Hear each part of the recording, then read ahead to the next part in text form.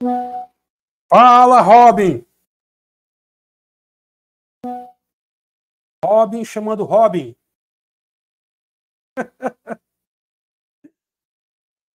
Robin chamando Robin. Você tá sem microfone, Robin.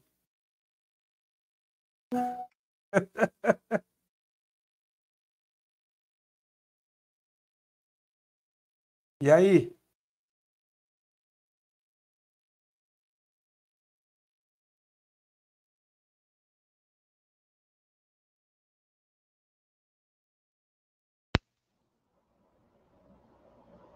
Bom, eu vou botar o microfone da câmera e a câmera da câmera.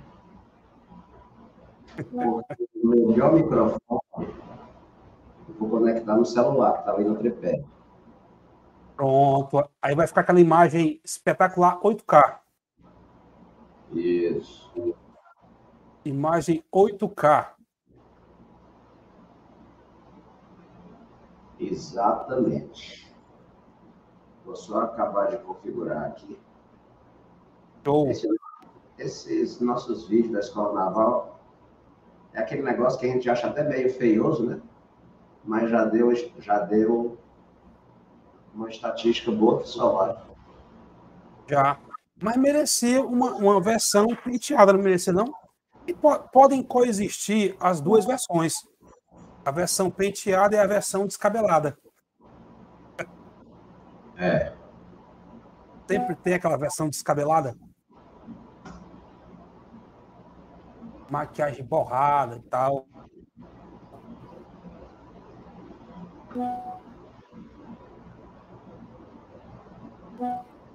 É, cara, tá aí, ó. Que massa, né, cara? Massa. Que massa, É. foi? Massa.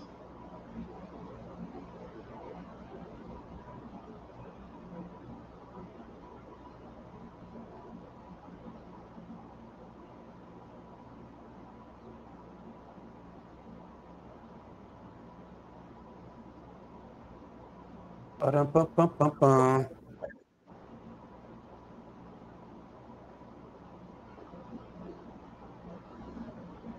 Carlos Henrique, boa tarde.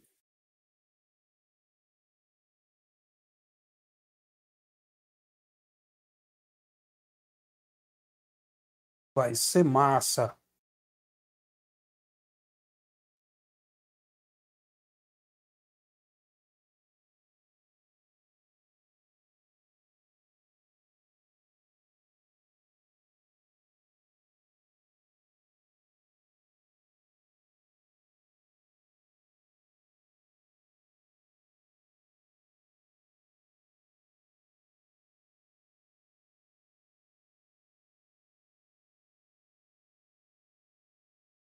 Deu uma caidinha, ó.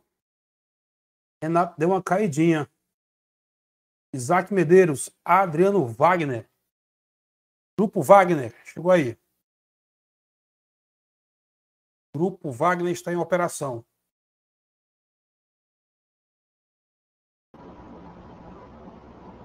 Beleza.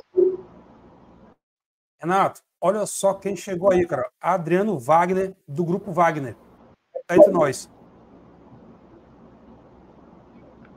Adriano Wagner.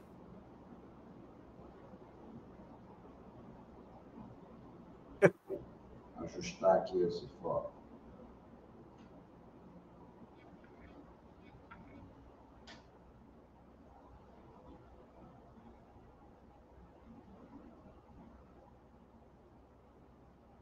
Tá massa, ó. Beleza.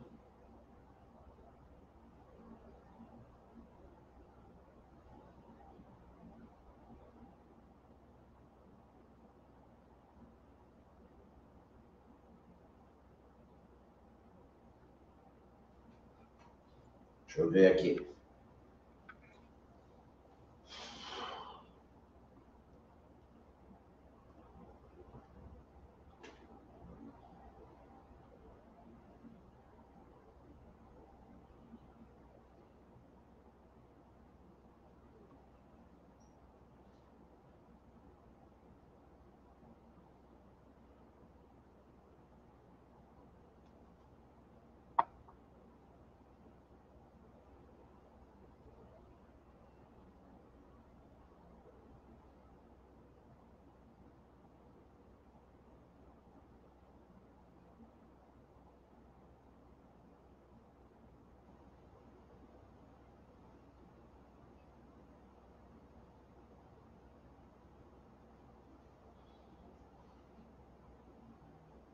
E aí, guitarra?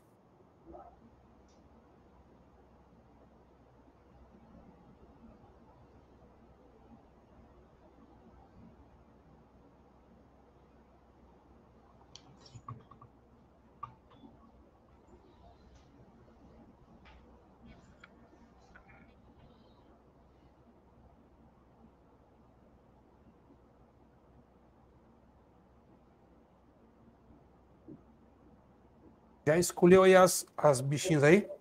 Santinhas? Eu vou aqui rapidamente instalar a Dropbox. É que o celular que eu usava no tripé foi formatado. Vou instalar aqui rapidamente um negocinho nele. Já tá no É. ponto aí? né? Tô nada. Ou melhor, tô, não tô, tô não, tô sim, tô, tô. Assim que tu quiser inaugurar aí. Pronto, eu vou agora. Vou dar aqui o pontapé inicial. Uma boa tarde a todos que estão aqui entre nós. Explica pra galera. Vamos explicar pra galera o que é que tá rolando, né? Que não estão entendendo. Vai rolar aqui uma tarde, uma vai- tarde de diversão, né? E o que é que tá rolando mesmo, né? É aqui, aqui é um momento divertido, porque professor não pode tirar férias. É quando a escola fecha as portas, que impede nossa entrada, a gente vem para cá para fazer live, né, Renato? É, Fomos para a escola hoje, a escola estava fechada, não recebeu a gente.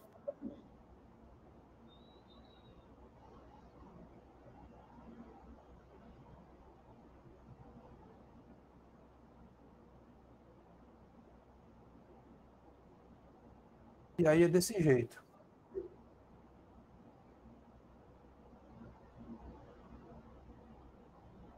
É isso. Peraí.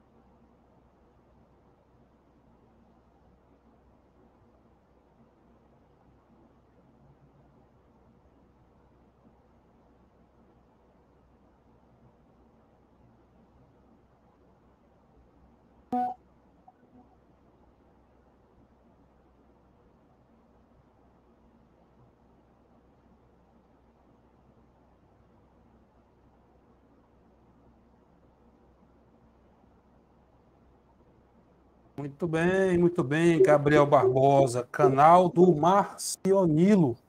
Olha aí. Marcionilo.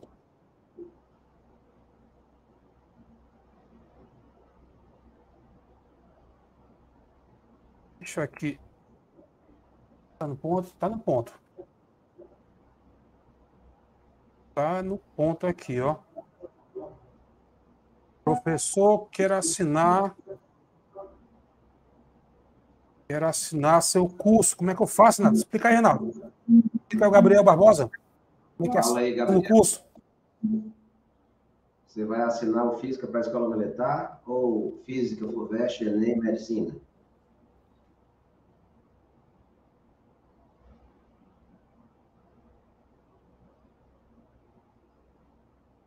Aqui quem manda é o freguês.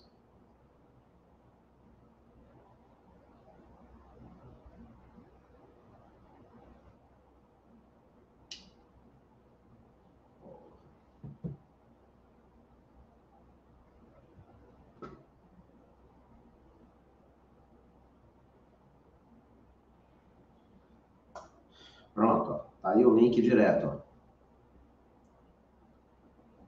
Você assina aí no link direto.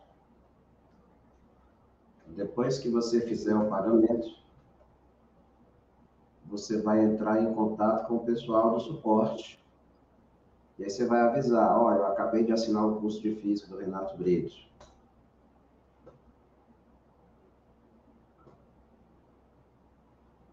E aí é só alegria. Partir daí é só alegria. Só sucesso. Galera, eu tô aqui com uma questão na agulha, uma questão que caiu ontem no vestibular de Minas. Se tiver algum mineiro entre nós, já pode se manifestar. Deixa eu mostrar aqui para vocês. Olha que questãozinha linda lá de Minas. Terra do pão de queijo. Pão de queijo, doce de leite, rapaz, só tem coisa boa em Minas. Vaca atolada. Só coisa boa. E as mineiras, viu, também são ótimas. E as mineiras, tá aqui, ó. Uma mineira aqui para vocês aqui, ó. Uma mineira de a UFO. São belíssimas. Não, não confundir com UFO. É UFO, né? Vamos lá. É, não é voador, não. Um bloco de gelo escorrega sobre uma rampa cuja inclinação é tal que a velocidade do bloco é constante. Aí, galera, deixa eu. Peraí. Esqueci de novo. É porque eu sempre gravo no meu computador. Calma aí, volta a fita aí. Volta a fita. Rebobina. Pega uma canetinha Bic, rebobina. Aí, macho, cadê? Canetinha Bic. Bobinar. Ih, macho, eu pedi para abrir aqui o OBS aqui.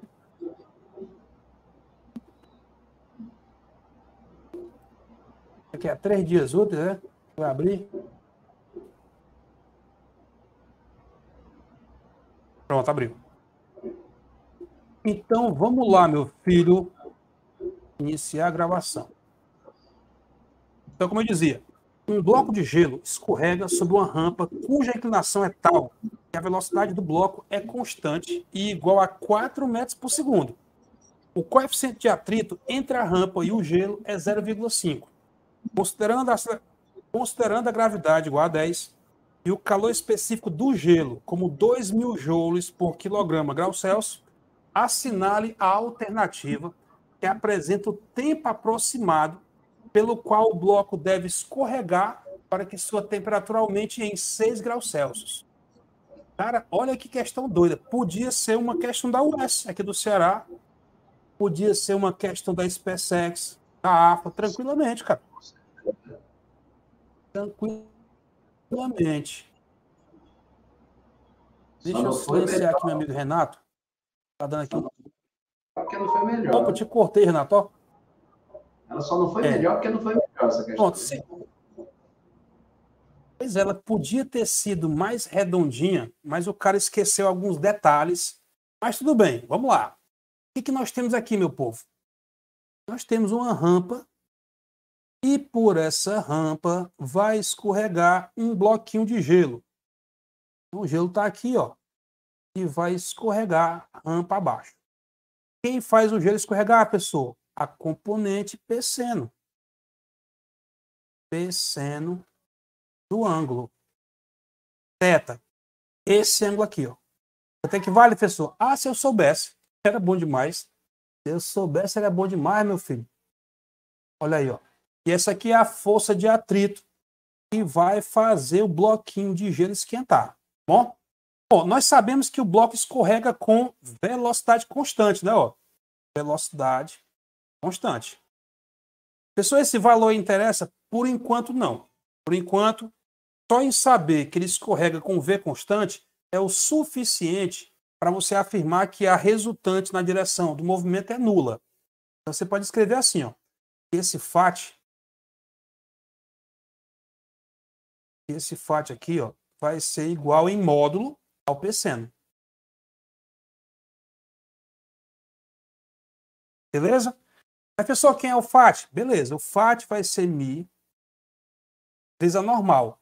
Numa superfície inclinada, galera, a normal tem a mesma intensidade de quem? Da P cosseno. P cosseno de teta. Bota aqui, ó. MG cosseno teta igual a P seno, né? Mg seno teta. Fala, professor, o que, é que eu vou encontrar aí? Cara, tu vai encontrar o seguinte. Tu vai encontrar uma relação entre o Mi e o ângulo. Olha só. Se você passar esse cosseno dividindo, você vai perceber isso aqui, ó. E o Mi é a própria tangente do ângulo. Mas espera aí, professor, espera aí. O que, que a questão está pedindo? Ela pediu tempo que esse bloquinho escorrega pela rampa. Mas, professor, o que, que tem a ver o tempo com a tangente? Bom, na verdade, como ele informou a velocidade e quer saber o tempo, né? O tempo aproximado, o que está faltando? Tem uma velocidade, que é o tempo, o que é que falta? Distância. Hum, então nós precisamos, aqui é normal, né? esqueci de colocar. Então nós precisamos saber quanto foi que esse bloquinho escorregou aqui, ó. Essa distância D, certo? E aí, observe o seguinte, o bloco escorrega rampa abaixo com V constante. Mas, pessoal, como é que pode ser constante se ele está perdendo altura, perdendo energia potencial? Deveria aumentar a velocidade. Sim, se não houvesse atrito. Nesse caso, você diz que o trabalho que a força de atrito está realizando é igual à variação da energia potencial. Ou, mais especificamente, o calor que é produzido. Né? Essa variação de energia mecânica ou potencial, já que a cinética não se altera, é que vai produzir o calor, que vai fazer o gelo esquentar. Né? Então vamos lá. O FAT? Mi vezes mg cosseno vezes o d, distância, né? Esse é o trabalho. Que vai ser convertido em calor, mc delta teta. Bom, a pergunta, a pergunta que é a seguinte, professor, eu posso cortar esse m? Calma, tenha calma. E assim, antes de passar a faca no m, você tem que conferir se os M's dos dois lados estão na mesma unidade. Se estão em gramas, quilogramas, mesma unidade. E aí você conferindo aqui, e aí você vai conferir aqui, ó, que o M está em quilograma no calor específico. Certo? Então, essa massa é uma massa em quilograma. Então, de um lado, ó, eu tenho um quilograma aqui no trabalho do FAT, e aqui eu tenho um quilograma no calor específico né? Na, na, na massa do bloquinho. Então tá tudo beleza, certo? Se o calor específico não estivesse em quilogramas, teríamos que transformar. Então, antes de cortar nesse ponto, você tem que fazer essa verificação, tá bom? Bom, a pergunta qual é a pessoa é o tempo. Só que, como eu disse, para encontrar o tempo, tem que descobrir a distância. Então, eu vou escrever aqui, ó, distância igual a quê, professor? A C delta T sobre mi G cosseno de teta. Vala, professor, como é que eu vou descobrir esse cosseno de teta?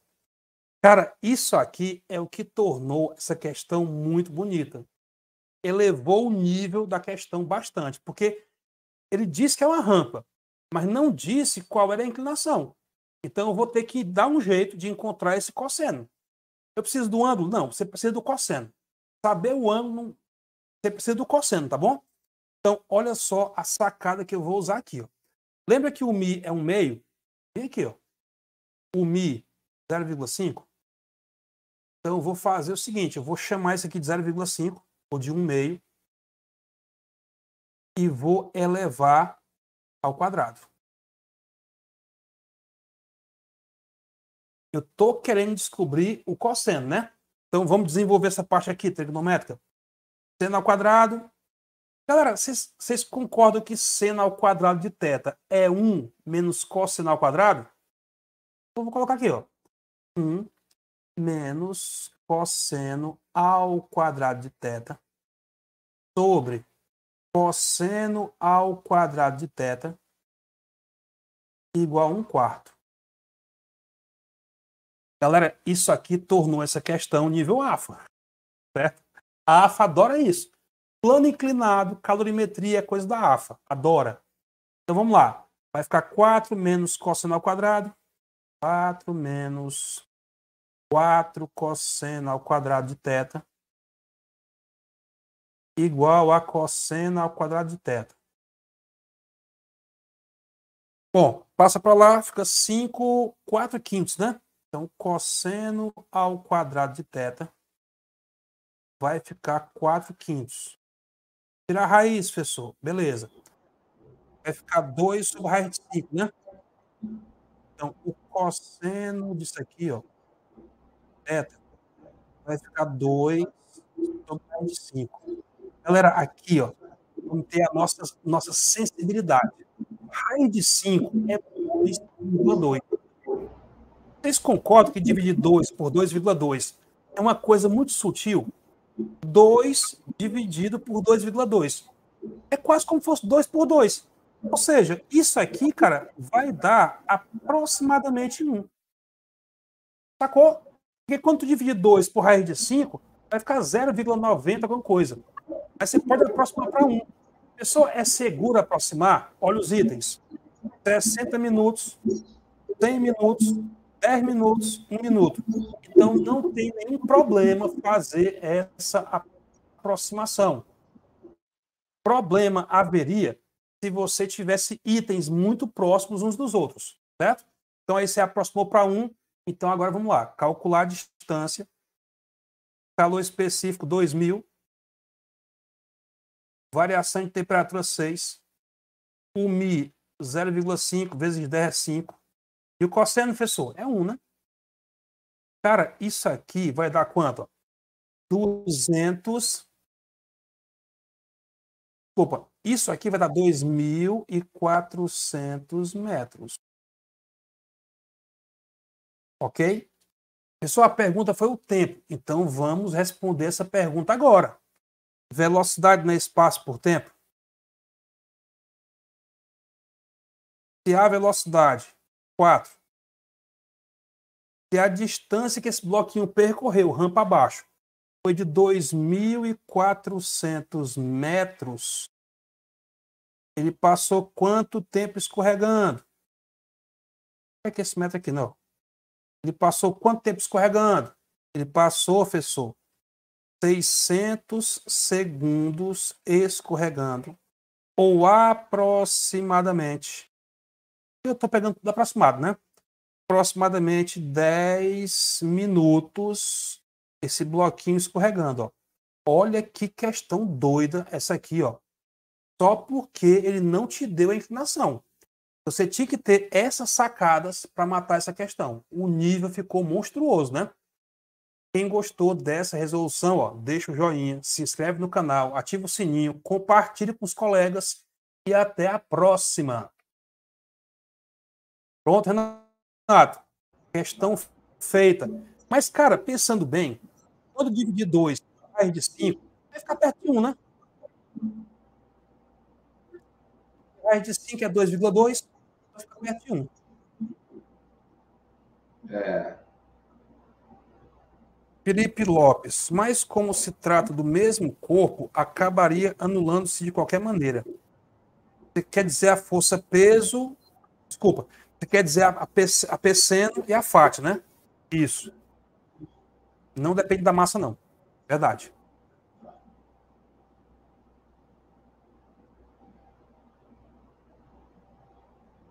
Uma questãozinha, pessoal, muito pauleira, viu? Nível AFA. Nível S. Alô, pessoal, e aí estamos aqui na sua FM 93 Guaxinim, xinim, xinim. Alô, alô, alô.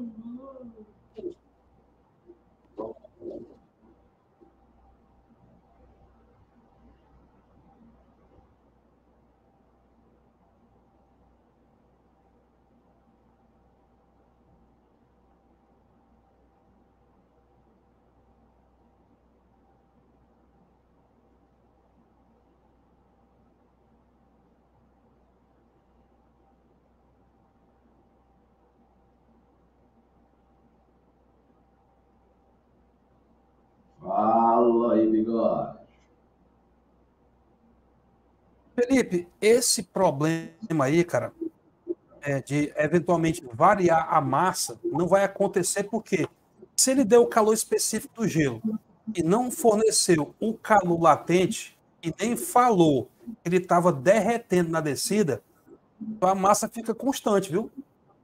É uma troca de calor sem variação de massa. Não sei se era essa, essa a sua dúvida. A massa não varia, não. O calor a massa não varia. Ele está longe do ponto de. A massa.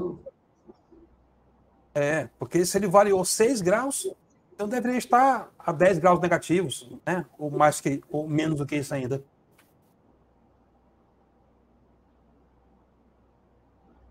É, cara. Olha aí, olha só, testando, guaxinim, chinim, chinim, alô, alô, alô. Teste do eco. Teste do eco. Eco.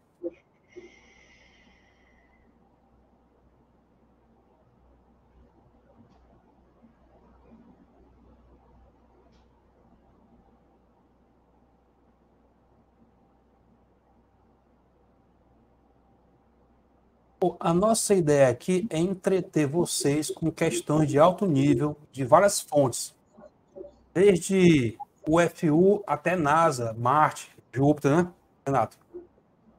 Ah, sim. Então, de todos os níveis. Pessoal, quem tiver aqui a passeio, aproveita, se inscreve no canal do Renato, se inscreve no meu canal também, Física com Ricardo Bastos tem muita coisa massa e vai só aumentando. Ontem mesmo postamos no canal do Renato uma questão da escola naval, ou de bola, de gravitação.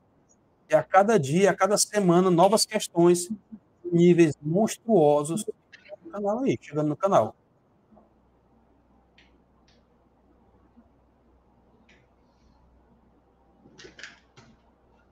Coisa doida.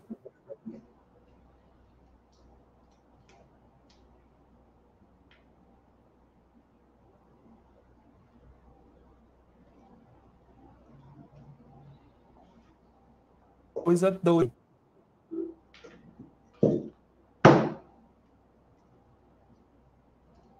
Alô, alô, alô. Alô. Testando, tando, tando. Alô, alô, alô. Alô.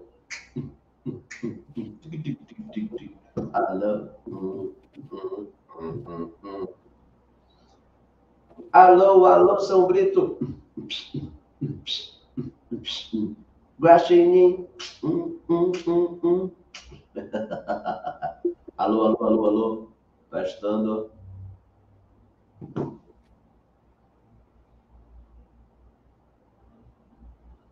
Agora, como é que eu sei?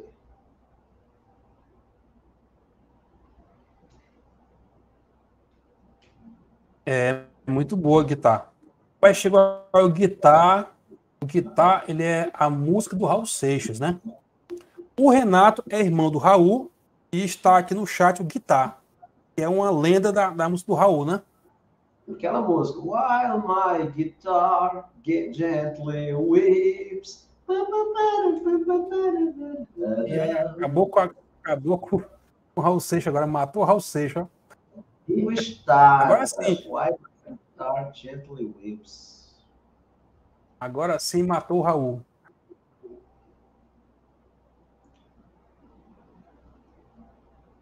Ah, garoto.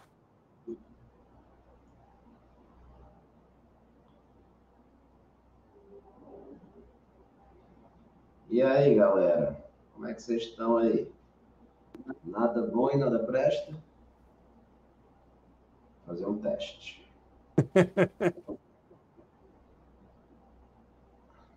alô, alô, alô. Pessoal, quero saber se esse microfone que está gravando é esse meu, do meu pescoço ou não. Vamos descobrir agora.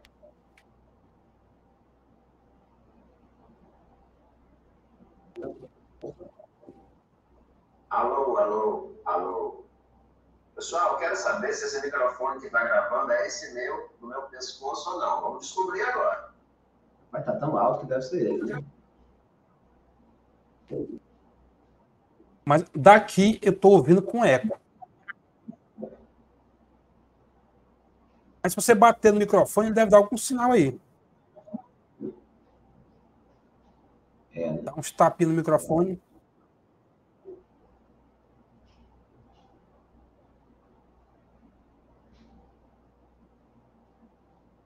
Dá umas palmadinhas no microfone aí, Renato. Umas palmadinhas.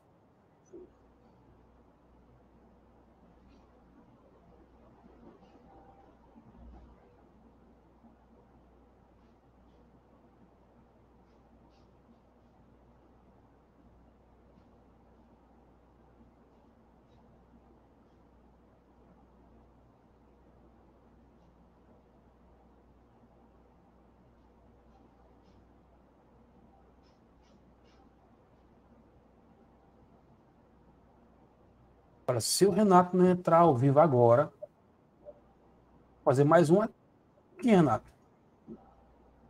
Vai lá, bigode. Pode ir. Olha aí. Olha aí.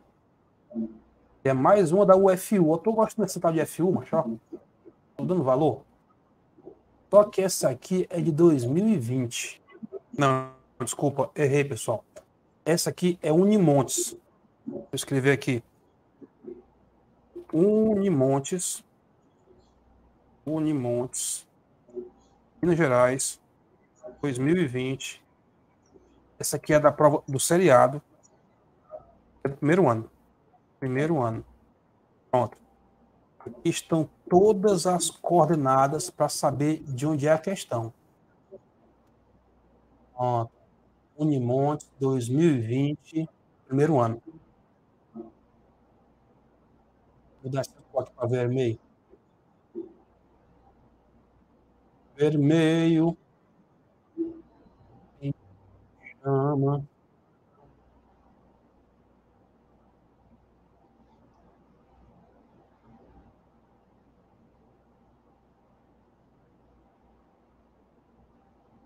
Então, galera, vamos lá.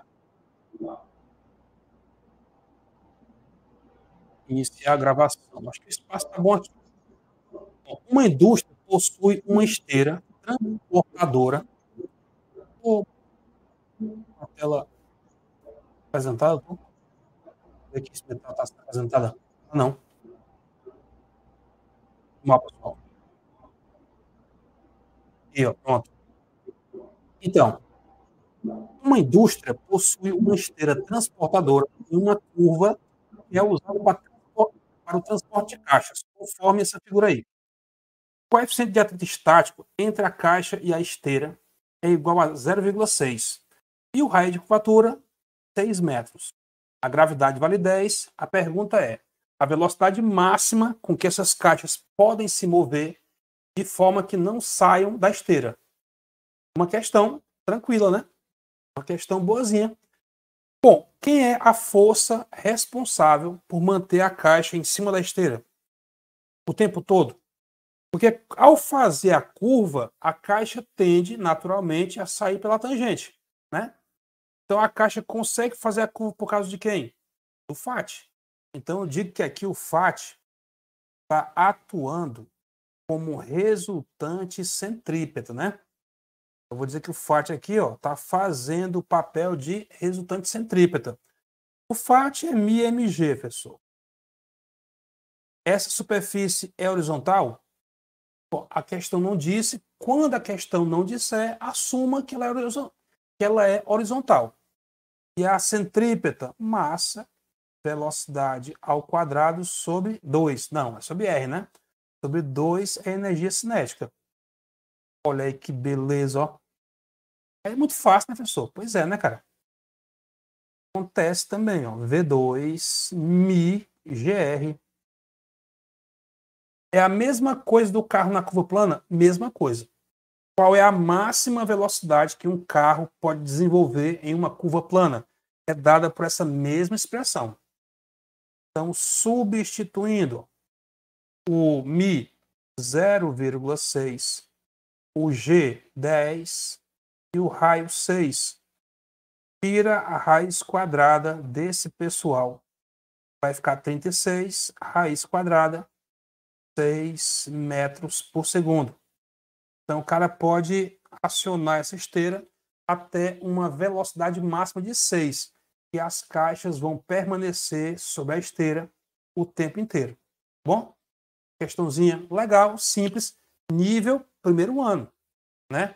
E esse vestibular aqui, Unimontes, ele é seriado. Então tem a prova do primeiro, segundo e terceiro, que foi suave mesmo. Nem sempre é tão suave assim não, viu?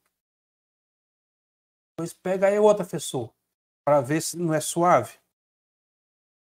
Bom, enquanto o Renato está calibrando ali as câmeras, o estúdio do Renato, deixa eu pegar aqui uma questão do segundo ano dessa prova aqui, ó.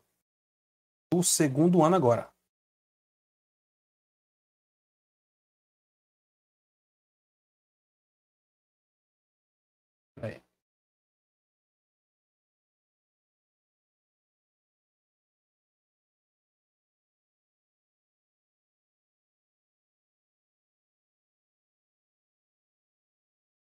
É. Pronto. Vou pegar essa mesma prova sendo do terceiro ano. Uma de magnetismo, né? Melhorzinha.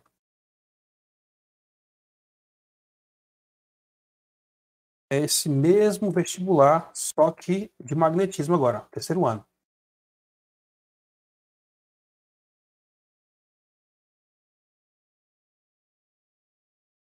pegar isso aqui, ó, para usar aqui. Eu troco só aqui, ó, terceiro ano. Pronto. Tá aí a questãozinha, meu povo, ó. Magnetismo. Um íon de massa 6,7 vezes 10 a menos 27 kg, ou seja, a massa do próton, né? E carga 3,2 vezes 10 a menos 19, encontra entra, desculpa, entra numa região onde existe campo magnético uniforme de módulo 0,2 Tesla. O íon entra na região com velocidade de módulo 2,2 vezes 10 a quinta metros por segundo. Passando pelo ponto P1, descreve uma semicircunferência e deixa a região passando pelo ponto P2. Muito bem.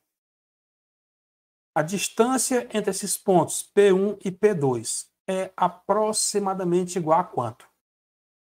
Pessoal, a distância entre esses dois pontos seria o raio da trajetória ou seria o diâmetro? O que vocês acham? Raio ou diâmetro? Professor, é o diâmetro, professor, porque o raio é esse aqui, ó. Esse aqui é o raio, não, ó.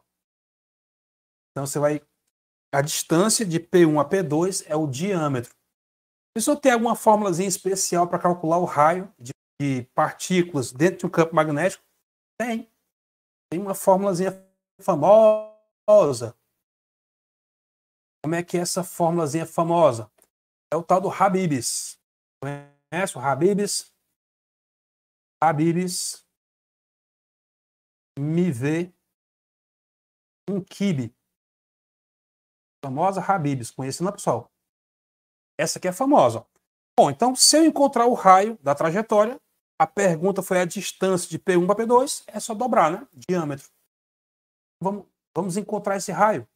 Depois a gente dobra. A massa é 6,7 vezes 10 a menos 27.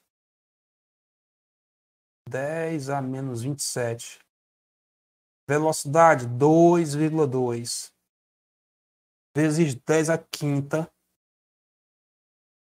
Carga 3,2 vezes 10 a menos 19.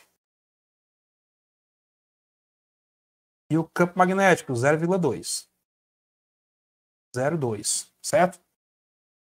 Bom, ele quer a distância aproximada. como sempre, galera, rola aqui é, a sua habilidade em fazer contas, certo?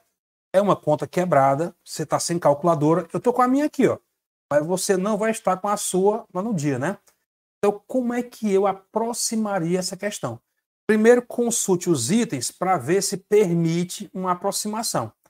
110, 10, 4,6, 0,23. É, os itens não estão tão próximos uns dos outros. Então, que tal fazer aqui uma coisinha? Vou pegar aqui esse 0,2, vou passar para cá, vírgula, avancei para a direita e vou reduzir um aqui, ó. Então vai ficar 3,2 vezes 2. Você dá quanto? 6,4. Pessoa, você, tá, você vai cortar esse 6,7 com 6,4? Vou. Vou cortar assim, ó. E é uma boa, é uma boa aproximação. Eu já sei que 6,7 por 6,4 vai dar algo maior do que 1, né? Que é 6,7 por 6,4. Um pouquinho maior do que 1. Então eu vou pegar 2,2 e vou multiplicar por uma coisinha acima de 1. 1, alguma coisa. Então eu já sei que esse raio ele vai dar aproximadamente ah, 2,3, 2,4, coisa assim. Esse menos 27 mais 5 dá menos 22. Aqui embaixo, ó, menos 19 menos 1, menos 20. Então, em cima, menos 22 mais 20 dá menos 2. E aí, professor? E aí, eu vou agora. Isso que está em metro, viu? Isso está em metro. Professor, quer dizer que esse raio, esse raio é aproximadamente 2,4 centímetros. É, posso trocar, né? Ou 2,4 centímetros. Só que a pergunta não foi essa, né? A pergunta foi a distância de P1 a P2. Então eu vou ter que dobrar isso aí, ó. Então o diâmetro, ou a distância P1 até P2 vai ser o dobro de 2,4. Eu estou supondo que é 2,4, tá bom? Eu não sei não. 4,8 centímetros.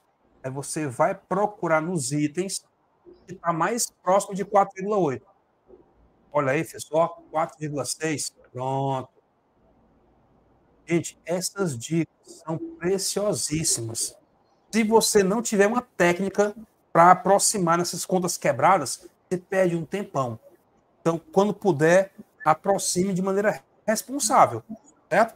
6,7 por 6,4 é um pouquinho mais que 1. Um pouquinho mais do que 1 vezes 2,2. É um pouquinho mais que 2,2. 2,3, 2,4 e aí fica beleza, tá bom? Quem curtiu esse comentário, ó, deixa aí o joinha, se inscreve no canal, ativa o sininho, compartilha com a galera e até a próxima. Mais uma pro saco, Renato.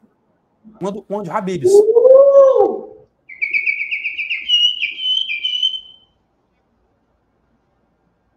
Mais uma pro saco do Habibs. Vixe, cara, o teu foco tá destravado, ó. Vamos já ajeitar esse danado aí. Ah. Exatamente, canal do Marcionilo. Essa fórmula do Habibs vem da igualdade entre a força centrípeta e a magnética. E assim, a força magnética vai atuar como resultante centrípeta. Ah, bem melhor, né? A força centrípeta não é uma força é uma resultante. Na verdade, a, a chamada força centrípeta é a componente radial de uma resultante. Né, Renato? É a componente centrípeta da força resultante, exatamente. Exatamente. Ou seja, a centrípeta não tem moral nenhum. Ela é, a re... Ela é uma componente da resultante.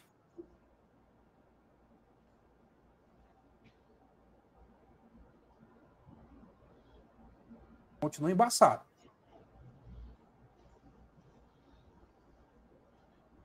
E aí, bigode? Aí, opa, pronto. Ela só estava querendo ver a minha testinha gigante. Bom, Vou resolver uma do Enem, então, tá bom? Tá me ouvindo? Para mim tá bom. Para mim tá ótimo. Eu tô com duas câmeras aqui na frente, não sei se você consegue me ver. Olha ali, ó. Ih, mas duas câmeras. E se o espelho Cadê for os- com... Ixi, Eu sou grafista, mano. Cinegrafistas são eu, eu e o Robin e o Batman. Olha, olha. É, garoto, isso aqui é o famoso supositório de baleia. O que que tem a ver, né? Galera, é o seguinte, vou resolver uma questãozinha do Enem de circuitos elétricos. Duas. Não vão dizer que a questão é bestinha, não, pessoal, porque tem que botar essas questões do Enem no site, entendeu? É, né? É, e são boas, né? Porque as questões de circuito. Ó, pessoal, vocês, vocês sabem que caiu quatro questões de circuitos elétricos na prova do Enem? Quatro? Quatro na primeira aplicação, eu acho que vai vir três na segunda e três na terceira, hein? Ou seja, É muita coisa, viu? lá, se tiver doutor em... Olha, das 15, quatro é de circuito? Quatro das 15? Olha aí, cara.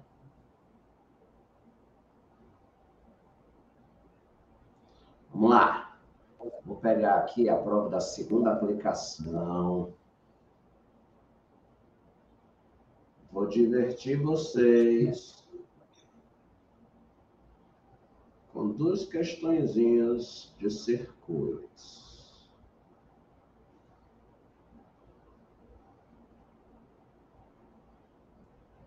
Windows Shift S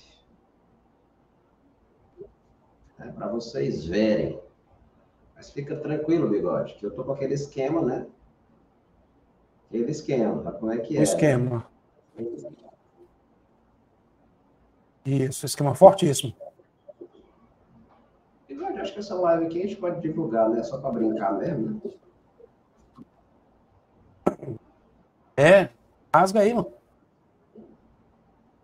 Rasga logo. Ai! Oh!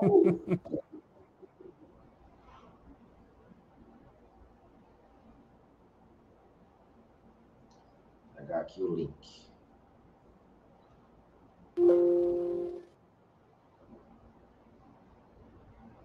Peguei.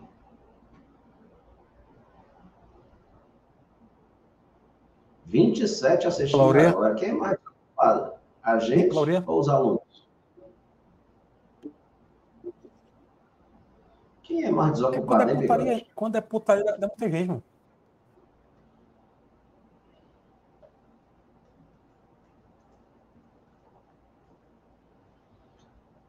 Galera dá valor à putaria, né, Bigode?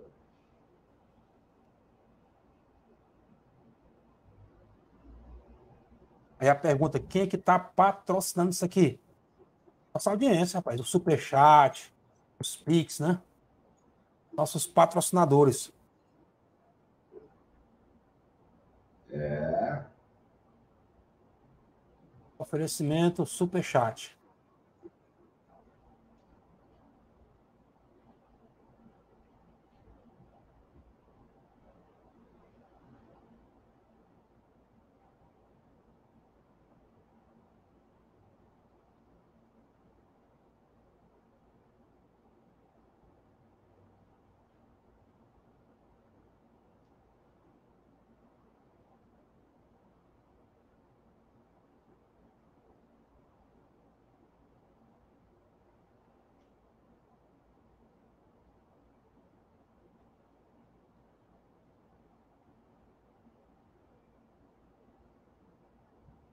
Renato, a descrição tá ok?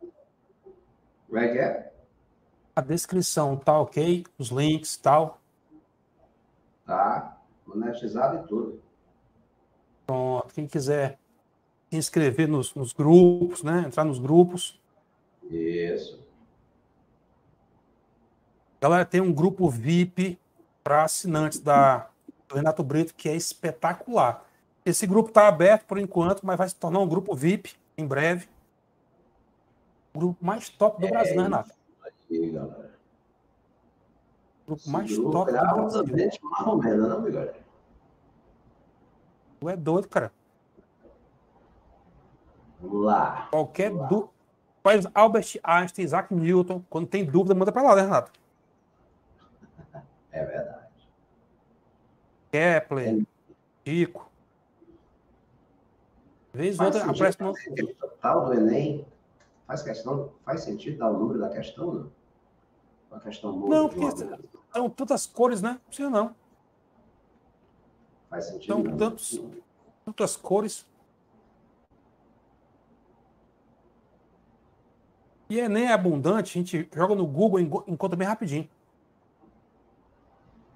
É. Enem é fácil de encontrar. Então, pessoal, agora a minha estreia.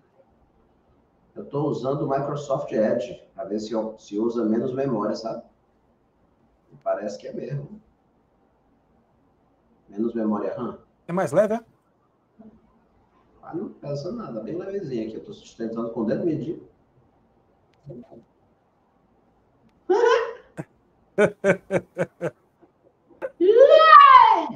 pesa, pesa 100 gramas. É agora, hein? Pessoal, então vamos lá. Olha. Vai, sapeca. A questão que eu vou resolver agora essa questão aí do Enem, ó. Olha aí o que, que vai acontecer se a lâmpada A queima. Pessoal, ela tem uma carinha de que queima, né? Quando eu olhei para a cara, rapaz, essa rapariga queima. É, ela tem cara de que queima, né, bigode? Queima, se queimar o foco daí. Eu tô achando que ela queima, viu? É, tem umas que só olhando para a cara dela, a gente já sabe se queima ou não, né, bigode? Deus que só olhando aí, rapaz, ela queima, queima. Tá, Já se entrega, né? Assim, Já rapaz, se entrega. Isso aí nem precisa chegar a mil graus Celsius, aí com 45 graus ela já queima. É. Vamos lá! Bom, como é que eu vou ler a porra da questão? Eu botei aí só para vocês se divertirem. Pronto. Então vai rolar aquele lance assim, ó. Sim, eu vou botar para gravar aqui, ó. Agora eu venho aqui, boto para gravar aquela velha história de bigode.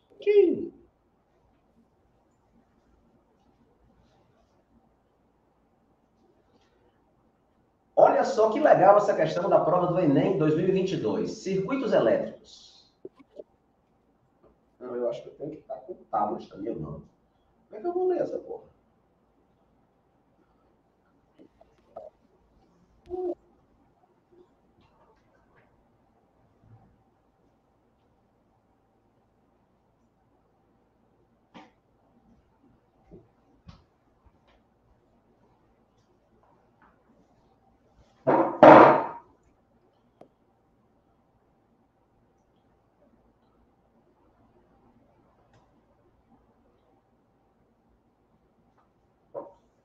Vou abrir ela aqui.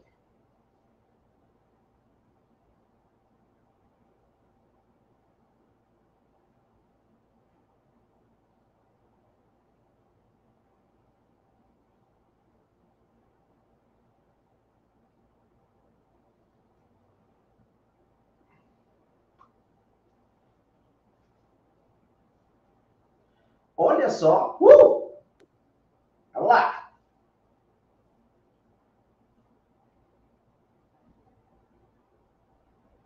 É isso.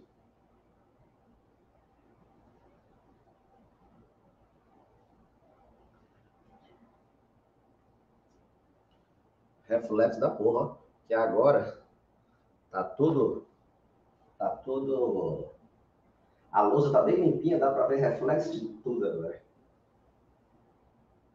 Hum. Esse aqui é o problema da lousa ficar limpa demais. Vamos lá. Olha só que legal essa questão de circuitos elétricos da prova do Enem 2022. Veja, no circuito elétrico estão associadas quatro lâmpadas idênticas A, B, C e D. Considere a tensão da fonte ideal valendo V. Considerando-se o brilho das lâmpadas, se a lâmpada A queimar de modo que não possa conduzir corrente elétrica, ele quer saber, pessoal, o que, que vai acontecer nesse circuito. Bom, eu acho que eu posso ser mais ágil nessa leitura. Vou de novo. Olha só que legal essa questão da prova do Enem 2022 de circuitos elétricos. Camarada te deu um circuito com quatro lâmpadas idênticas e a pergunta da questão basicamente é o quê, Renato? Se a lâmpada A queimar, qual vai ser o comportamento das outras lâmpadas? Vamos analisar? Uh! Para, Renatão! Analisa! Vamos analisar essa porra aqui, mas. Ó. Ai, ai.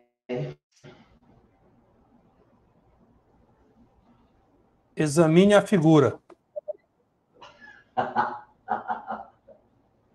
Pega o estetoscópio, né, amigo? É. O glicemia, o PSA.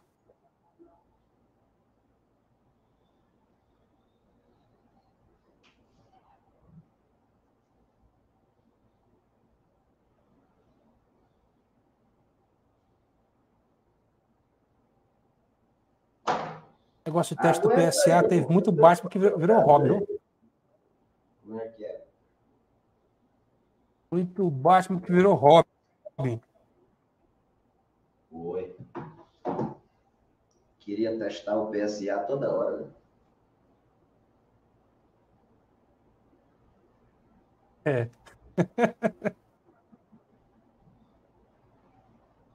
Mas, Rob, você veio ontem, doutor, só para garantir, doutor. O seguro morreu de velho. Vamos verificar de novo.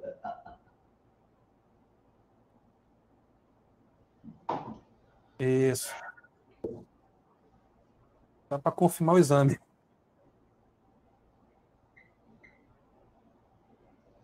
Mas a questão deve ficar puta, viu? Quando ela vê que eu desenhei de um jeito muito mais fácil do que a questão original, hein? questão deve dizer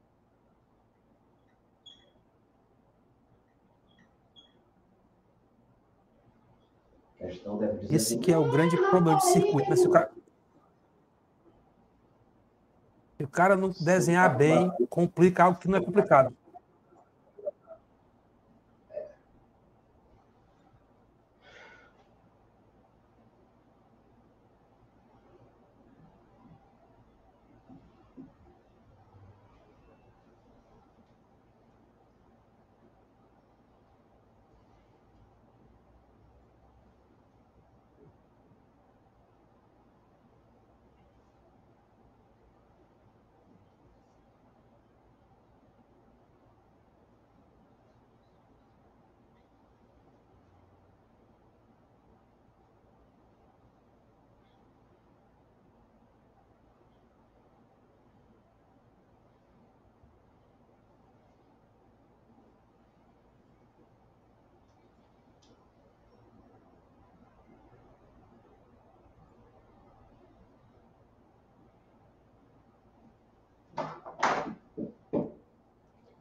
Agora anotar o nome das lâmpadas, né?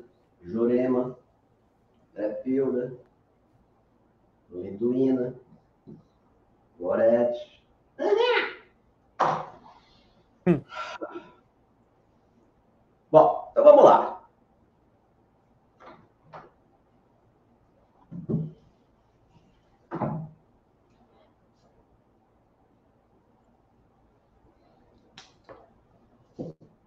Bom,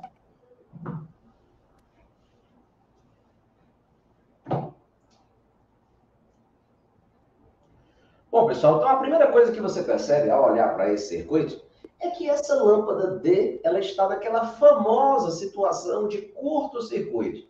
Curto-circuito acontece, pessoal, quando a lâmpada está em paralelo com um fio de resistência zero. Hum, né? De modo que não dá para explicar o que é curto-circuito num vídeo desse, né, Bigode? Se a pessoa não souber, um abraço, né? A primeira coisa que você percebe, meus queridos, é que essa lâmpada D de dado, ela está naquela famosa configuração de curto-circuito, né? O curto-circuito acontece em que situação, Renato Brito?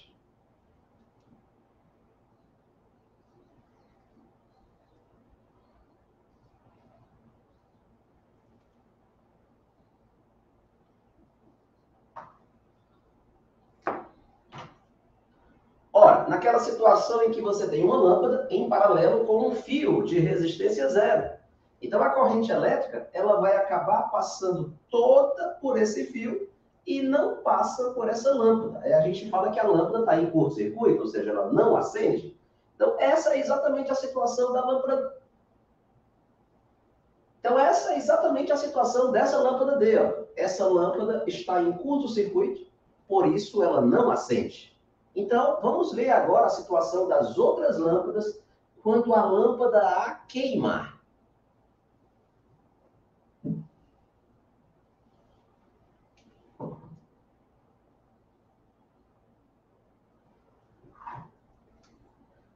Já que a lâmpada D não funciona, desliguei a...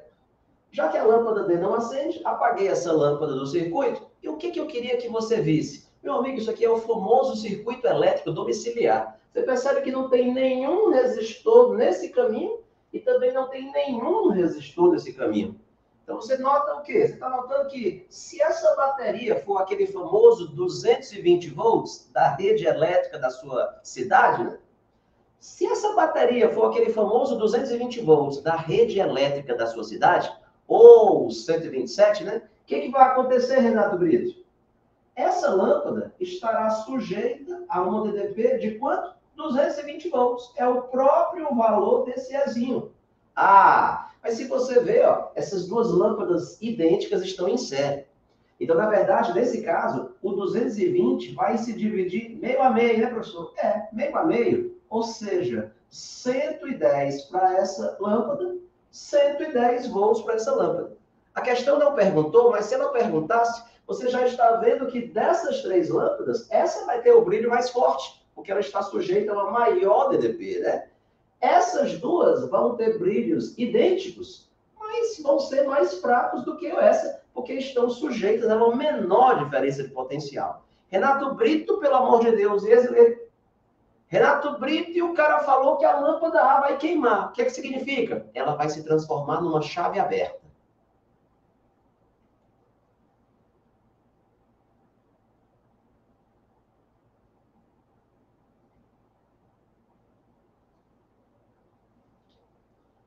Significa. Ou seja, se ela se transforma numa chave aberta, não vai passar mais corrente nessa linha todinha. Se a lâmpada A queima, a lâmpada B acaba apagando. Professor, e a lâmpada C? A lâmpada C nem tomou conhecimento do acontecido. Tá, porque a lâmpada C nem tomou conhecimento sobre o acontecido, porque ela continua recebendo o 220 volts diretamente da rede elétrica. É exatamente quando você desliga a lâmpada da sala e o brilho da lâmpada da cozinha continua inalterado. Elas estão em paralelo na nossa casa, por isso que elas têm um funcionamento independente.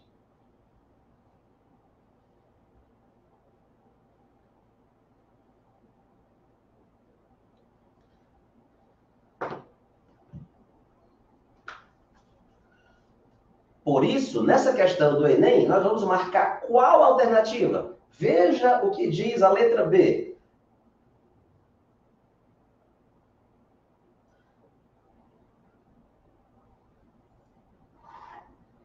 Quando a lâmpada A queima, a lâmpada B se apaga, a lâmpada C continua com o mesmo brilho de antes e a lâmpada D permanece apagada. Por isso, meu amigo, nessa questão do Enem, vamos marcar qual letra, professor? Vamos marcar então a letra B de bola. Se você gostou dessa resolução, se você gostou desse vídeo, deixe um like, deixa aí o seu joinha. Se você ainda não foi inscrito no meu canal, inscreva-se. Toda semana tem vídeo novo aqui de qualidade. E a novidade que eu te conto é que não... Esquece esse negócio do joinha.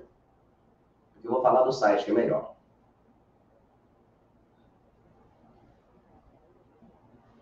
E se você ainda não E a novidade que eu trago para você é. E se você ainda não conhece, visite o meu novo site, físicacorrenatobrito.com.br. Lá você vai conhecer meus cursos, minhas apostilas, meus livros e muito mais, tá bom? Forte abraço e até a próxima.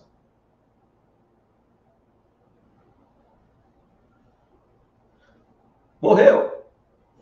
Assassino. Ai. É com você, bigode! Aí hoje o bigode nem tá travado. Vixe! Se fosse eu tava aqui estranho. Ah. Aí era. Se fosse naqueles dias, naqueles dias de provas militares, o cara tá aqui no Passo um Coco, Pessoal, aqui eu vou sair de Minas Gerais. Vou sair de Minas e vou, sabe para onde? Lá para Tocantins, ó. Uh, lá em Palma, Tocantins. Esse lá é muito bom. Mas uma vez o cara me falou que em Tocantins tem uma casa aqui, a próxima, a casa vizinha a ela, lá de vizinha fica a 200 quilômetros uma da outra, as cidades. Parece a Rússia, né? É... Parece a Rússia, é um vazio demográfico. E, galera, uma questão aqui legal, ó, de Tocantins. Federal de Tocantins 2011.2. O pessoal quer saber como é que eu acerto questões da UES, da URCA, mas tendo uma visão geral. Eu olho o Brasil. Tem vestibular bom, questão de alto nível em qualquer lugar. Você tem que ter um olhar clínico para saber isso aí, ó. E ter um banco de questões do tamanho do meu. Então, o FT 2011.2. Uma questãozinha estilo US também, ó. Podia ser Enem? Podia ser Enem. Olha só.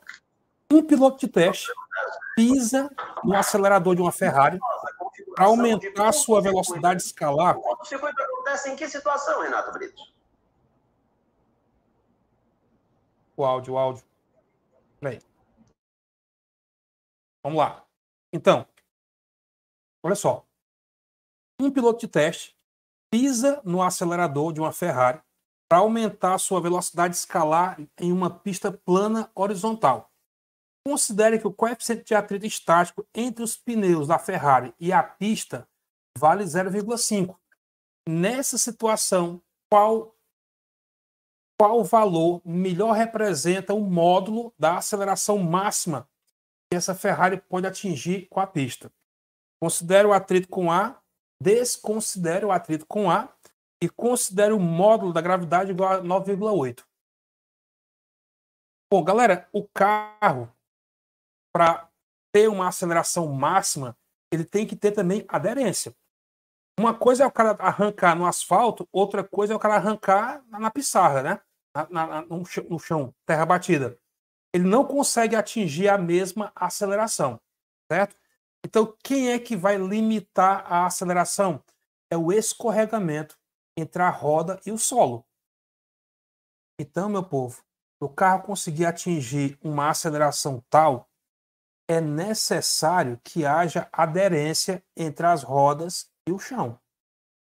Se faltar essa aderência, o carro não consegue atingir a sua aceleração máxima, certo? Então imagina um carro tá arrancando para a esquerda e aí a tendência do pneu da roda de tração, vamos dizer que seja tração dianteira, né? A roda empurra o chão para trás e o chão empurra para frente, né? O chão empurra a roda para frente e a roda empurra o chão para trás. Então esse FAT deve ser um FAT estático. Não deve, não deve ter deslizamento. Mas, pessoal, a questão fala aqui ó, que o coeficiente de atrito estático vale 0,5. E aí? E aí que a máxima força que o chão vai exercer no carro vai ser esse FAT estático. Então, é esse FAT estático que vai empurrar o carro é a força F, né? A de força resultante. Força responsável pelo movimento. De um lado, FAT, Mi vezes mg. E do outro lado, a força que o carro vai sofrer, né? Massa do carro vezes aceleração. Olha só. Tira a massa. E a aceleração máxima que esse carro vai conseguir, ó, Lembrando que aqui é fato estático, né? Estático máximo. A aceleração máxima esse carro vai conseguir é mg. Fala, professor, então. uma Ferrari, por mais potente que ela seja, ela vai ficar limitada ao atrito entre a roda e o chão, com certeza. Com certeza, ó. Se o atrito vale 0,5, coeficiente, e a gravidade vale 10, ó, essa Ferrari última geração, potência total, só consegue acelerar com 5 metros por segundo ao quadrado. Pensou aí qual é o truque na Fórmula 1? No caso, ele usou o G 9,8, não? Então, deixa eu só refazer a parte final aqui. É, é, o, é o costume, pessoal. Né? Então, sendo o Mi 0,5 e o G 9,8, essa Ferrari super potente só vai conseguir desenvolver uma aceleração de 4,9 metros por segundo ao quadrado. O que é uma aceleração baixa para um carro de corrida, né? Um carro esportivo. Beleza? Marca aí então a alternativa B de bola. Pessoal, e como é que os carros de Fórmula 1 fazem para conseguir aquela arrancada violentíssima? Aí a, o aerofólio, aquela asa invertida, conforme o carro ganha velocidade, o carro ganha mais aderência na pista. Então, os carros conseguem desenvolver acelerações maiores em virtude daquela asa invertida. O tipo de pneu, o tipo de asfalto e a asa invertida. Ou seja, o que se faz num circuito de corrida com um carro de corrida é impossível repetir com um carro de passeio. Ele não tem as características que um carro de corrida tem. Né? O aerofólio, o tipo de asfalto, o tipo de pneu, é tudo especial para aquele momento. Então pronto, item B de bola, morreu a questãozinha do Tocantins.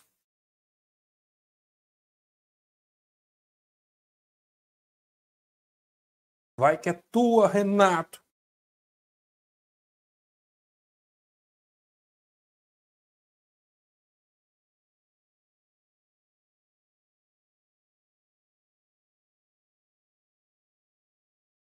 Renato Brito?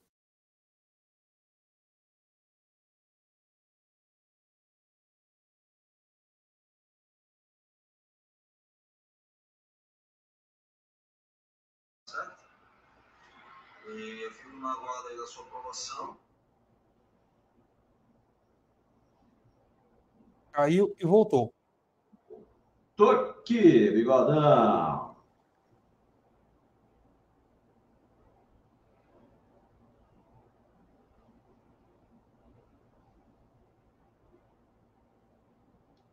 Tiago, me diz uma coisa.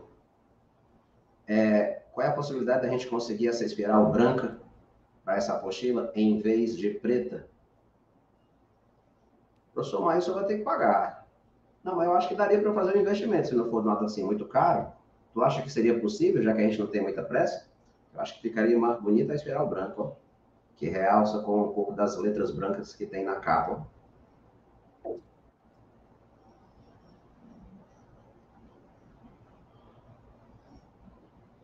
E aí, bigode? Pronto, fiz aquela lá do Enem, né? De repente, o que? Escolho outra aqui do Enem. Deixa eu ver. Vou pegar uma da Escola Naval. Deixa eu logo matar essas três do Enem de circuitos que o pessoal vai me pedir mesmo. É.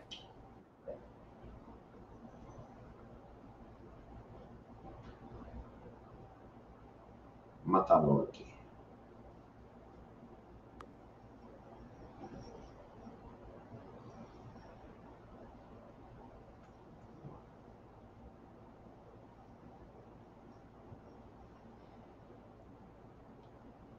vou resolver essa aqui.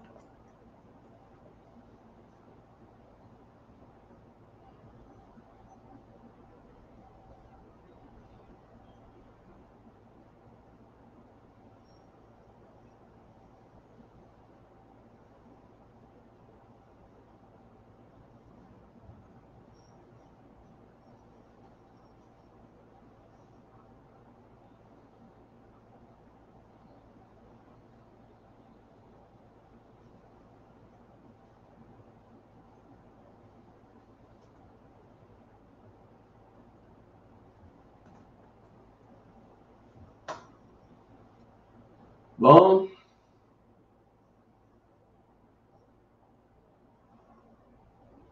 Então vamos lá.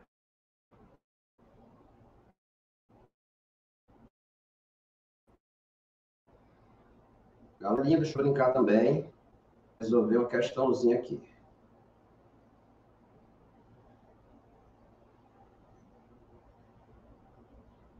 O que é que tu vai resolver, professor? Questãozinha aqui do Enem. Olha aí. Muito conhecida entre as pessoas que conhecem. Olha aí que beleza, hein?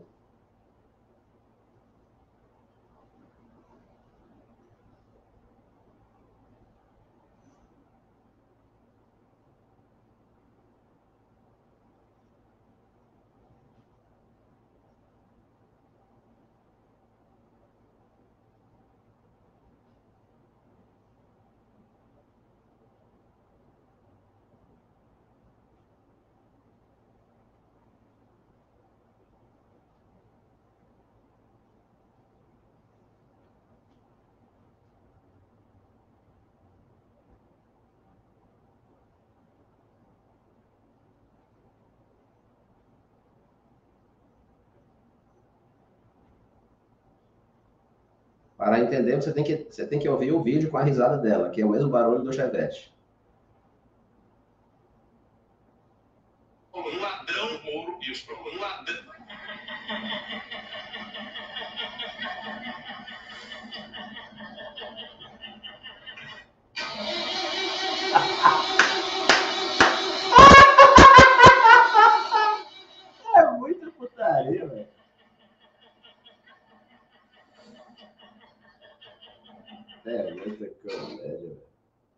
Claro, com certeza. Vai fundo. Pega o ramalhozão aí, resolve de capa a capa. E seja feliz, não é não? A galera vai apoiar, seus concorrentes vão ficar muito felizes. Faça isso. Os alunos da turma do Florida de vão amar você fazer isso. E aí? Vamos lá, né? Vamos mais uma? Ó, vamos mais uma.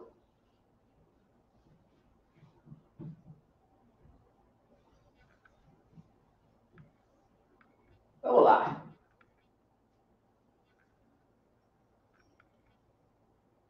Começar então, bigode. Mais um aí, bigodão. Uh! Baixar essa.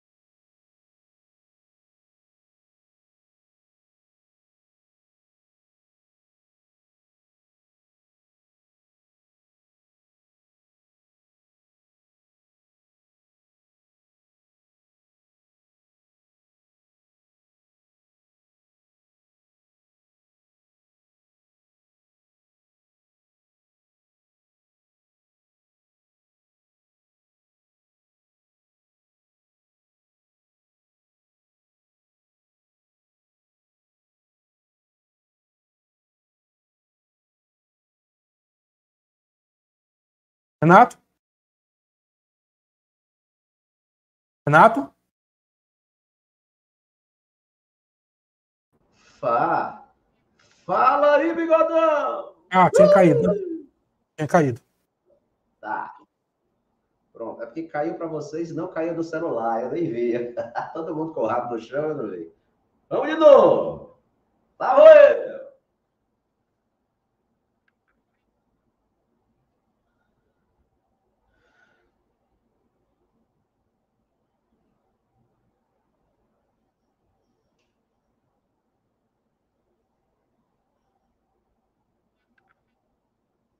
Vamos lá. Ah! Olha só que legal essa questãozinha de circuitos elétricos da prova do Enem 2022. Olha, o camarada basicamente está dizendo que ele comprou uma torneira elétrica para instalar. Lá era 220 volts, puxa uma corrente de 30 amperes. Ó, meu amigo, foi necessário um fio de 28 metros de comprimento desde a instalação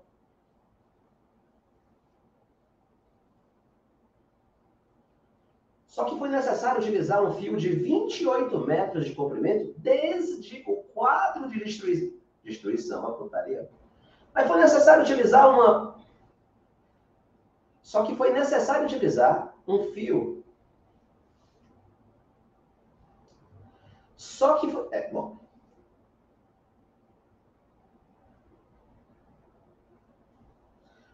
Olha só que legal essa questão do Enem. Olha só que legal essa questão do Enem de circuitos elétricos, da prova.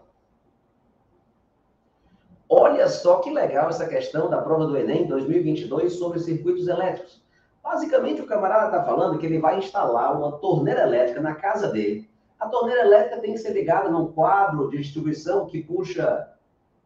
A torneira elétrica vai ser ligada em 220 volts, ela puxa uma corrente de 30 amperes mas para essa torneira ser ligada até o quadro de distribuição de energia, vai ser utilizado um fio de 28 metros de comprimento. Renato Brito, o que, ele está querendo saber? Ele está querendo saber o seguinte: por conta de ser 28 metros de fio, por conta de serem 28 metros de fio, a pergunta é: qual é a DDP que finalmente vai. Qual é a DDP que vai efetivamente chegar até essa torneira? Por causa da queda de potencial elétrico que você vai ter no fio. Vamos fazer então essa continha? Vamos lá, Renato Brito.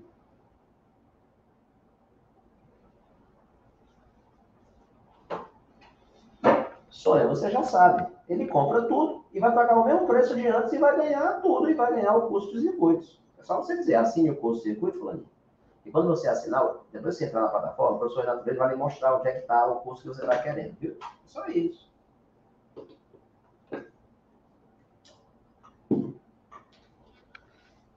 Então vamos lá.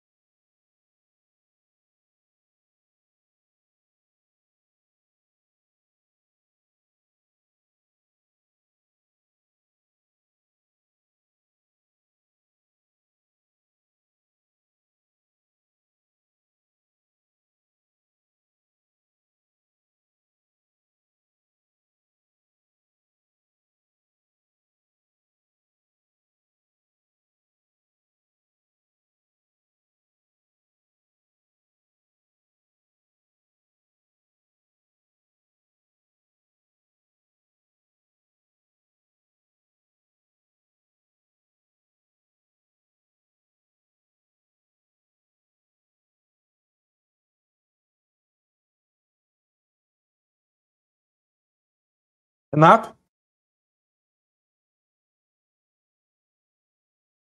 Renato Brito?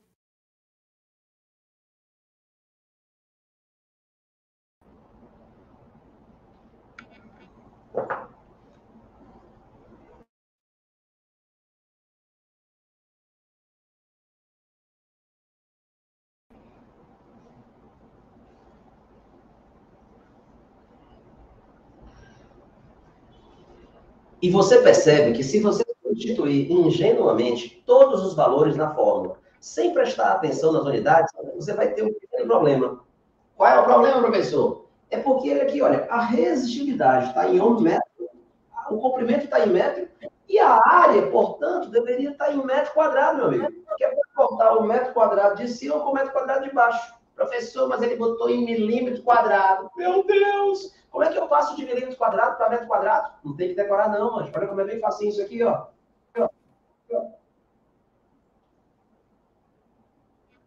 Alô?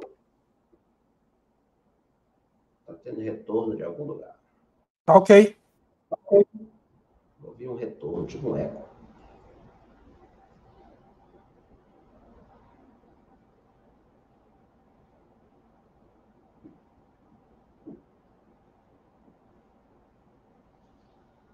Você sabe que um milímetro equivale a 10 a menos 3 metros? Então agora é só elevar os dois lados ao quadrado.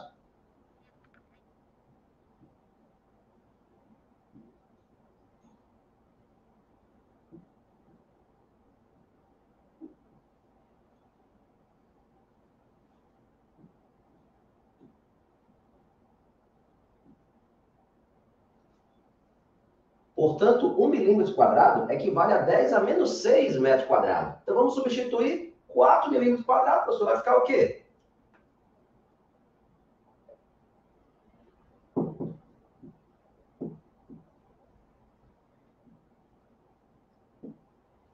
Quatro vezes 10 a menos 6 metros quadrados. Então, meu amigo, finalizando essa continha,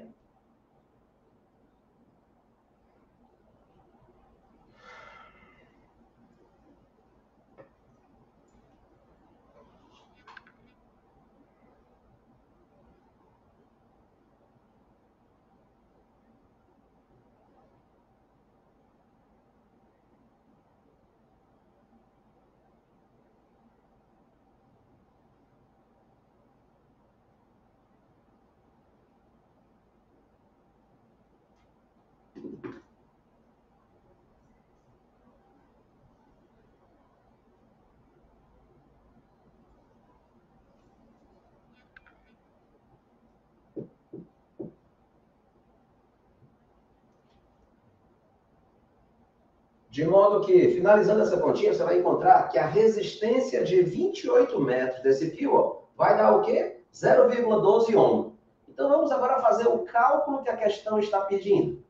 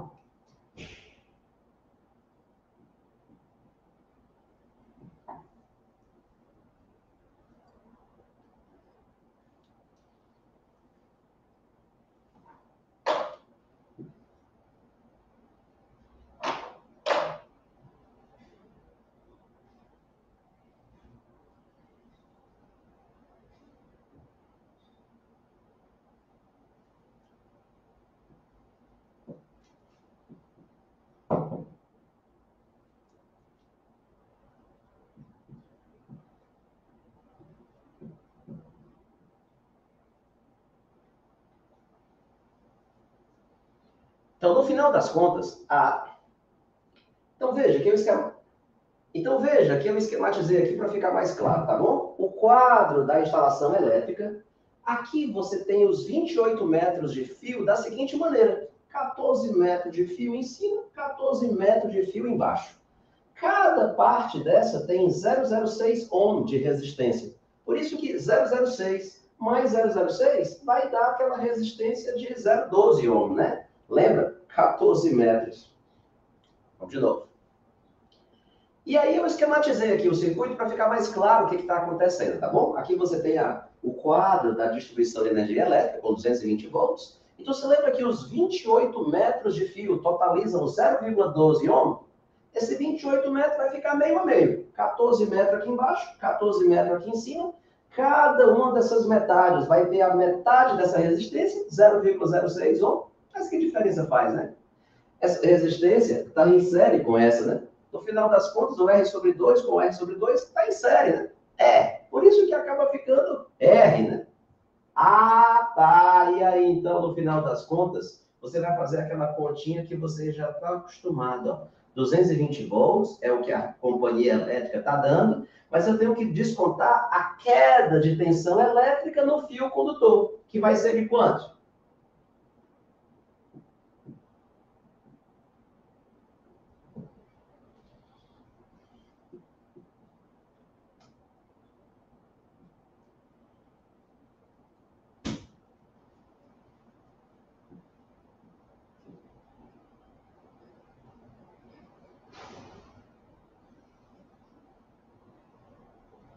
que vai ser uma queda de aproximadamente 3,6 volts. Então, dos 220 volts que estão lá na caixa de distribuição de energia, quantos volts vão chegar de fato na torneira elétrica?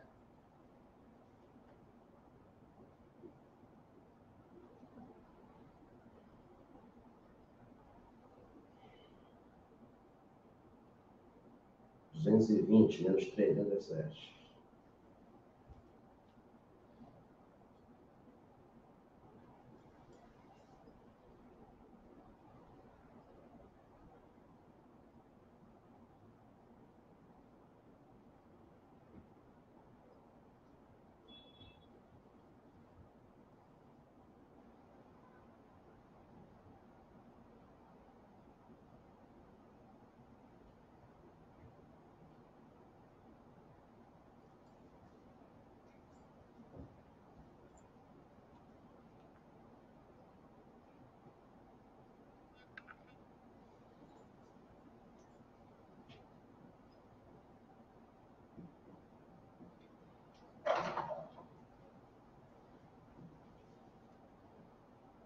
Aproximadamente, então, 216 volts.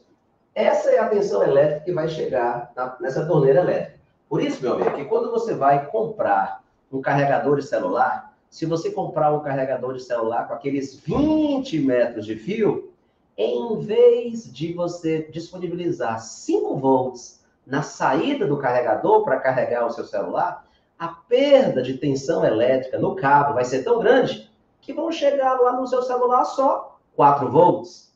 E aí? E aí o seu celular vai demorar muito mais tempo para carregar se ele utilizar um cabo no, se ele utilizar um cabo USB muito grande. Então você deve, então você deve optar realmente por cabos USB originais e de preferência pequenos. Valeu? Bom, se você ainda não conhece o meu site, acesse física. Se você Bom, se você ainda não conhece o meu site novo, acesse fisicacomrenatobrito.com.br. Lá você vai conhecer os meus cursos online, minhas apostilas, meus livros publicados, material de muita qualidade para você que vai prestar vestibular. Valeu? Forte abraço e até a próxima. E qual é o item que eu vou marcar, professor? Eu não disse qual é o item não, Bigode. Mas não precisa não, né? É, eu acho que é radar, né? É.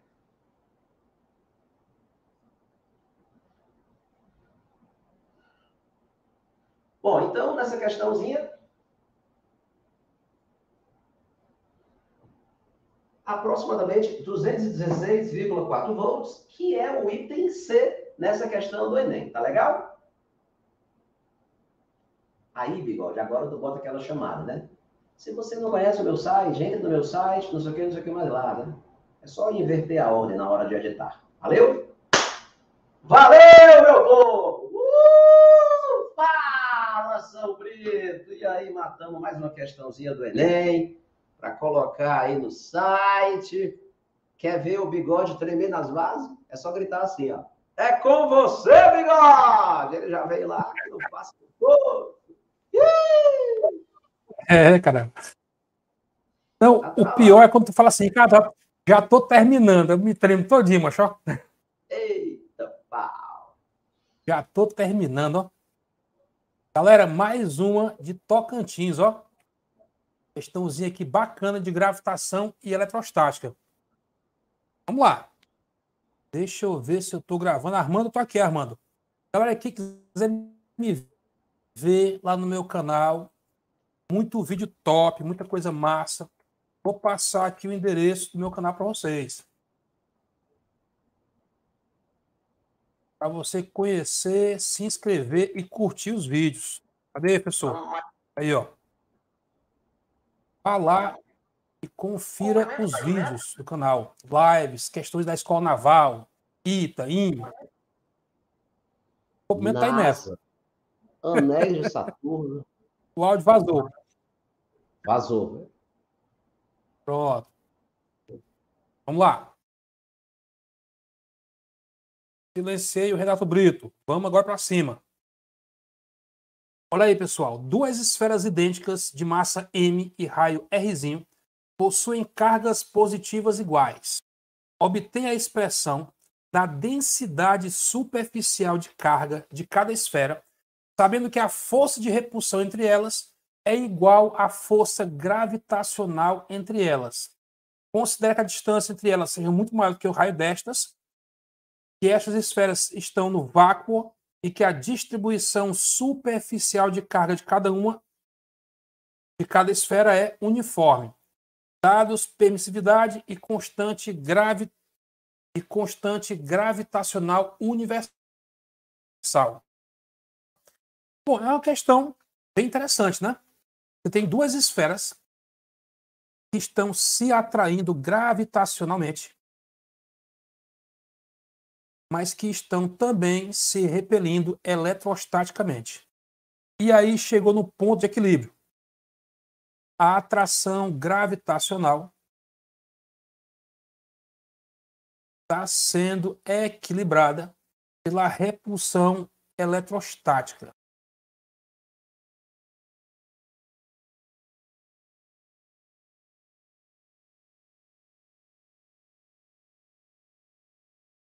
Então, temos aqui a força de atração gravitacional e a força de repulsão eletrostática. Segunda questão, essas forças se equilibraram, né? As esferas nem se aproximam, nem se, aproximam e nem se afastam mais. E aí, professor? Ó, força elétrica é K, QQ, né? Vou botar aqui, ó, que é ao quadrado, que são cargas iguais, dividido a distância. Pessoal, qual é a distância entre elas? Qual é a distância entre os centros dessas esferas? A questão não deu, não. Vamos chamar de D. O que nós sabemos é o raio da esfera, que é Rzinho, né? Então, a distância D ao quadrado. E a força de atração gravitacional, G, MM, ou M ao quadrado, sobre distância ao quadrado. Está percebendo que a distância já vai embora, não? O professor ele pediu a densidade superficial de carga. Como é que eu vou calcular esse bicho aí? Que bicho é esse? Ó, ó distribuição, cadê? Ele pediu onde, pessoal? Deixa eu ver aqui. A pergunta me perdi aqui. Está aqui. Obtém a expressão da densidade superficial de carga. É o chamado sigma, né? Ele quer saber o sigma. Ele quer saber o famoso sigma, distribuição superficial de carga. é a carga sobre a área. Então, dessa expressão aqui de preto, eu vou tirar, eu vou encontrar a carga. Vamos descobrir aqui a carga elétrica de cada esfera. Pessoal, mas ele não deu K, ele deu epsilon zero, pessoal. E aí, galera, esse K, esse K, ele é dado por 1 sobre 4π epsilon zero. 4π epsilon zero, tá bom? Então eu vou substituir esse K por esse valor. Vai ficar aqui, ó, G emão ao quadrado. Pessoal, esse emão seria o eminho? É. Ele chamou esse emão de eminho, né? A massa. Então, as massas das esferas são eminhos. Aqui, ó. G eminho quadrado. E esse K, professor, vai passar ao contrário. Se o K é 1 sobre 4π epsilon zero, quando passar para o outro lado, vai para cima. 4π epsilon zero. Lembrando que esse aqui é o quadrado, né? Vou tirar a raiz quadrada para chegar a esse Q. Passo seguinte, descobrir a, descobrir a densidade superficial. Vou pegar a carga, que é a raiz quadrada desse pessoal ali, ó.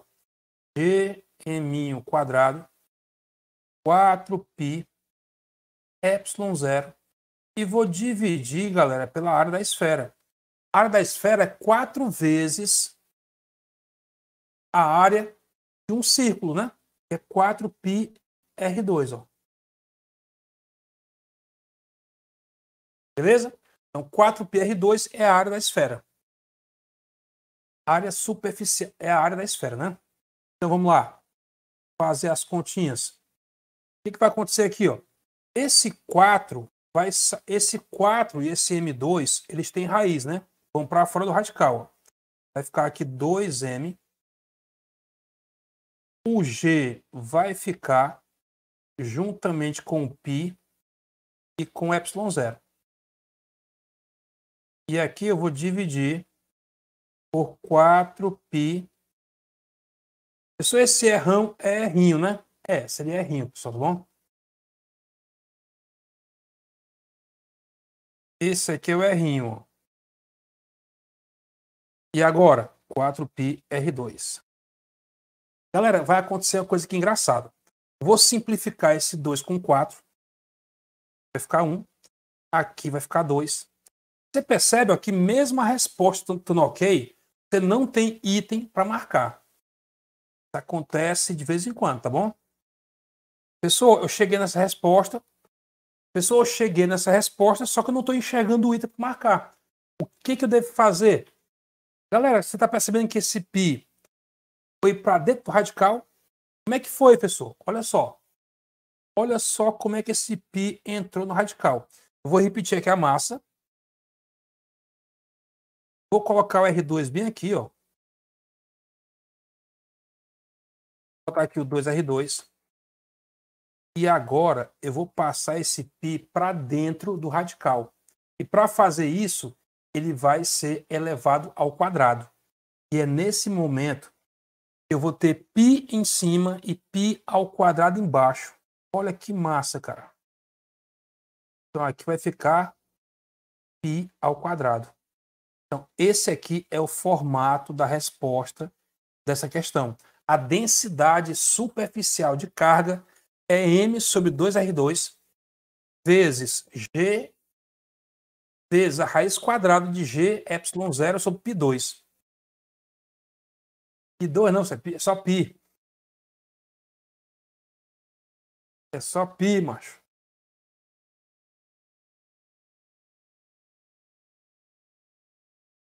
E aí nós temos a resposta no formato das alternativas. Ó.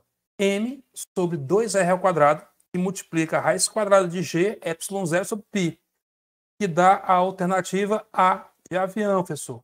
Pronto. Resposta A de avião. É uma questão interessante, né?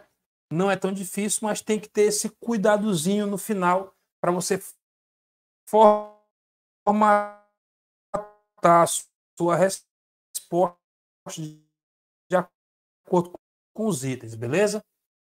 É isso aí, meu show, né, Armando? Pronto. Eu não sei se é só a minha internet que está falhando ou se, tu, se, ou se a tua voz está falhando também para a galera. Pergunta aí no chat. Renato, eu estava observando isso enquanto você resolvia a sua questão.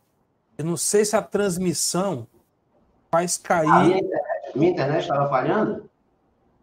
Aparentemente. Se falhar agora não tem problema, porque agora eu estou usando a técnica da câmera, né? Eu sei, eu sei. Pois é. Mas para alguém falhou, pessoal? É. Deixa eu ver aqui. Eu tinha percebido também, mas como eu sei que não ia comprometer a tua gravação. É. Não, estava querendo ver se você estava se prejudicando. Eu não, eu estou garantido. Não, mas eu estou gra... eu tô gravando no meu PC também. Ah, então beleza. Fechou. Eu estou gra... gravando também. Eu acho que esse deve ser nosso padrão mesmo. Padrão, o padrão, padrão. Porque aí nós não vamos, não vamos depender da, da boa vontade da internet, né? É. É chato você depender de internet, aí falha, oscila. Deixa eu me ouvir aqui. Bigodão, eu vou ter que ir bem ali com a patroa, fazer não sei o que e volto daqui a pouco. Se tu quiser ficar eu brincando mais um pouco. Vou ver aqui o pedacinho. Como é que é? Se tu quiser brincar. Eu vou aqui um me ouvir para ver se falha. A mim tá falhando até agora, a gente conversando aqui.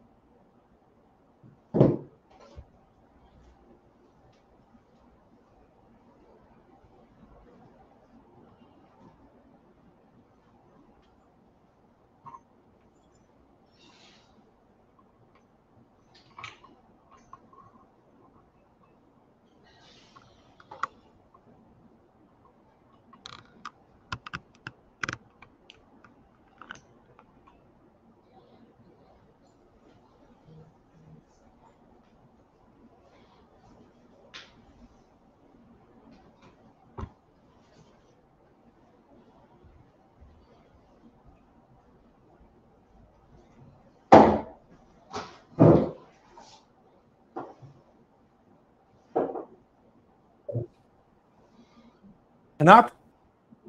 Oi!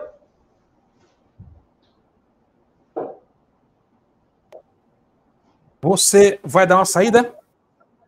É.